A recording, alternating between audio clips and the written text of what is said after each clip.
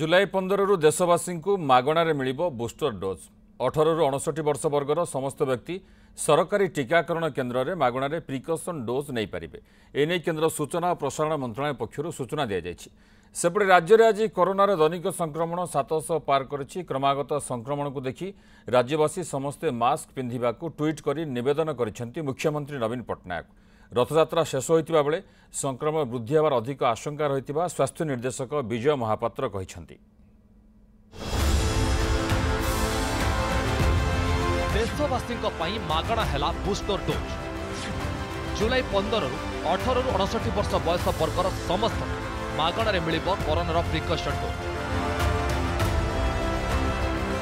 ଆଜାଦି କା ଅମୃତ ମହୋତ୍ସବ ଅବସରରେ ପଞ୍ଚସ୍ତରୀ ଦିନ ଧରି ଚାଲିବ ସ୍ପେଶାଲ ଡ୍ରାଇଭ୍ समस्त सरकारी टीका केन्द्र में मगणारे टीकाकरण जारी देश में अठर रु अणसठी वर्ष बयस वर्गर सतस्तरी कोटी जनसंख्या मध्य मात्र एक प्रतिशत रु कम लोक ए जाए बुस्टर डोज नहीं तेणु करोना संक्रमण वृद्धि को देख सरकार आगामी दिन में स्वतंत्र ड्राइव आरंभ करने को योजना कर सूचना देखते केन्द्र सूचना प्रसारण मंत्री अनुराग ठाकुर पंद्रह जुलाई 2022 से लेकर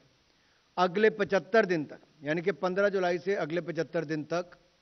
देश के 18 वर्ष से ज़्यादा उम्र के जितने भी नागरिक होंगे उनको बूस्टर डोज बिल्कुल मुफ्त में देने का निर्णय लिया गया है इससे पहले जो मुफ्त था वो फ्रंटलाइन वर्कर्स थे कोविड वॉरियर्स थे या फिर 60 साल से ज़्यादा के जो नागरिक थे उनके लिए अब इसको 18 साल से ज़्यादा की उम्र वालों के लिए साफ कर दिया है कि बिल्कुल मुफ्त बूस्टर डोज अब आप लगवा सकते हो राज्य में लगातार ऊपर मुहा कोरोना संक्रमण आज सौ पार कर दैनिक संक्रमण চব্বিশ ঘণ্টার সতেইশ জেলা ও স্টেট পুলর সাতশ তেয়াশ পজিটিভ চিহ্নট হয়েছেন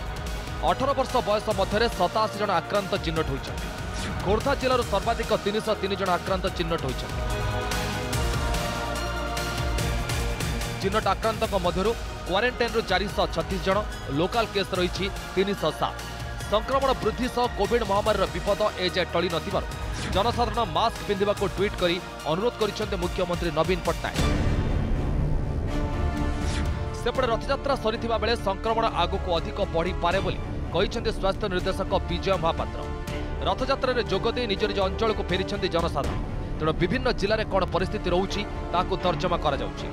ଅନ୍ୟ ଲହରୀ ପରି ସଂକ୍ରମଣ ଧୀରେ ଧୀରେ ବଢ଼ୁଥିବା ବେଳେ ଆଗାମୀ ଅଗଷ୍ଟ ଦ୍ୱିତୀୟ ସପ୍ତାହ ସୁଦ୍ଧା ଓଡ଼ିଶା ଭଲ ସ୍ଥିତିକୁ ଆସିପାରେ ତେଣୁ ଯେଉଁମାନେ ଟିକା ନେଇନାହାନ୍ତି ତୁରନ୍ତ ଟିକା ନେବାକୁ ପରାମର୍ଶ ଦେଇଛନ୍ତି ସ୍ୱାସ୍ଥ୍ୟ ନିର୍ଦ୍ଦେଶକ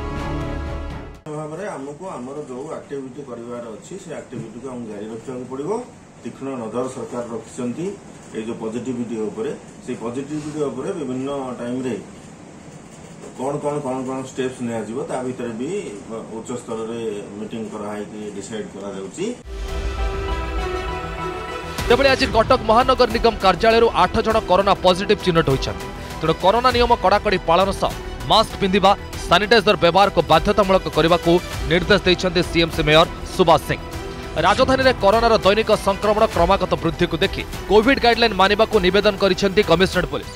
ହାଟ ବଜାରରେ ଅଯଥା ଗହଳି ନ କରିବାକୁ କୁହାଯାଇଛି ସମସ୍ତ ସ୍କୁଲ କ୍ୟାମ୍ପସରେ ଛାତ୍ରଛାତ୍ରୀଙ୍କ ପାଇଁ ମାସ୍କ ପିନ୍ଧିବା ବାଧ୍ୟତାମୂଳକ କରାଯିବ ବୋଲି ବିଏମ୍ସି ପକ୍ଷରୁ କୁହାଯାଇଛି ବ୍ୟୁରୋ ରିପୋର୍ଟ ନ୍ୟୁଜ୍ ସେଭେନ୍